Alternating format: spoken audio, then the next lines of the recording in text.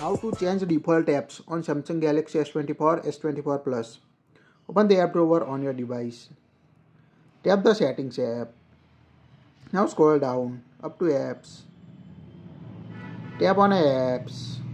Here you can see choose default apps option. Tap on it. Here you can see the list of default app like browser app, caller ID spam app, digital assistant app, home app, phone app. Tap the app you want to choose here you can choose browser app if you want to install another browser app like a Mozilla Firefox, Opera Mini, etc. Tap on a caller ID and spam app. Select the option from phone or Truecaller or any other calling app. Digital Assistant app. You can use Bixby or a Google Assistant. Home app. Here you can set by default one UI on your Samsung device. Tap on a phone app. So select the app and uh, choose the option you want to set as a default SMS app, default home app or default browser app on your Samsung Galaxy S24, S24 Plus device. That's it. If you like it, share it.